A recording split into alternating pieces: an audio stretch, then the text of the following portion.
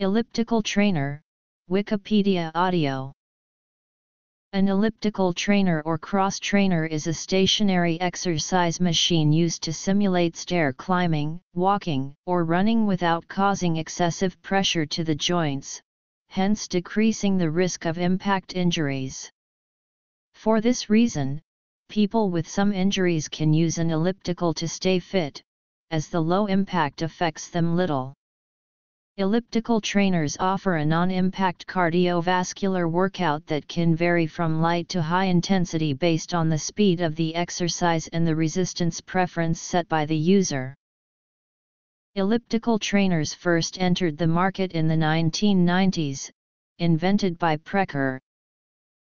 Most elliptical trainers work the user's upper and lower body. Though elliptical trainers are considered to be minimal impact, they are an example of a weight-bearing form of exercise. They can be self-powered by user-generated motion or need to be plugged in for adjustment of motion and slash or for supplying their electronic consoles and resistance systems. History Elliptical riders use an arrangement of links known to the kinematics community as four-bar linkage. The pedals are attached to the floating link referred to as the coupler. The first published work on the subject of elliptical path generation is given in 1988 by researchers at Purdue University in which the path of a point on the floating link is shown to approximately follow an elliptical shape. In 1995, Precor introduced the elliptical fitness cross trainer, the first piece of exercise equipment to allow the foot to roll from heel to toe just like in running. Its patented mechanism weds a rear flywheel with a forward foot pedal, creating a smooth, elliptical movement. This is key to foot comfort and reduces numbing of the foot experienced on other stationary cardio equipment. This approach is classified as low impact as it keeps a person's heels in contact with the pedals, reducing muscle and tendon stress. Exercisers move fluidly and can have a lower relative perceived exertion. In other words, the person does not feel like they are working as hard as they actually are. There are three types of elliptical trainers, categorized by the location of the motor or drive.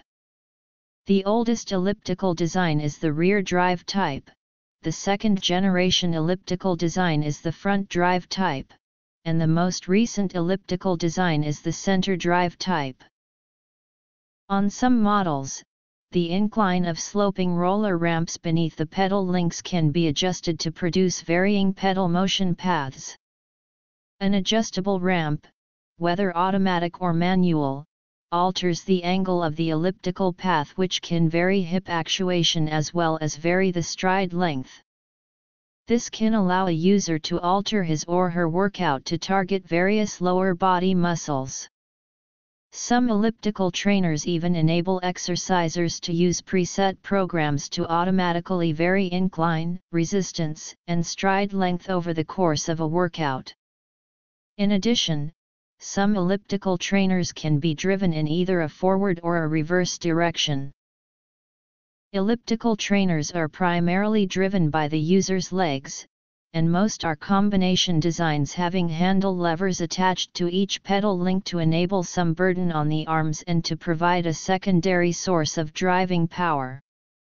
The user grips the handles below shoulder height and pushes and pulls the arms while shuffling the feet back and forth within elliptically shaped paths. Thus the oscillating handle motions are dependent on and coordinated with the constrained pedal motions.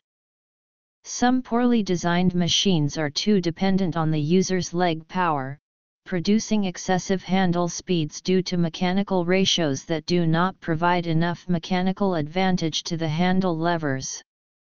Consequently, such machines might feel to the user as if his arms are simply going along for the ride rather than performing a meaningful portion of the work.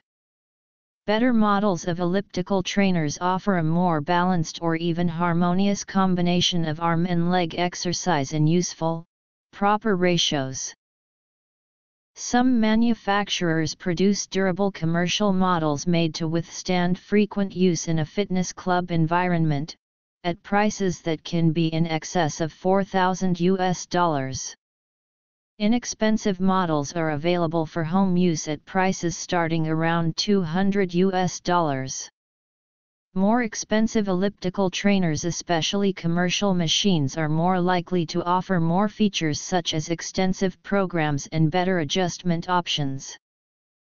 An elliptical cross trainer is comparable to a treadmill in its exertion of leg muscles and the heart. Ellipticals produce an intermediate range of leg motion between that of stationary bikes and treadmills.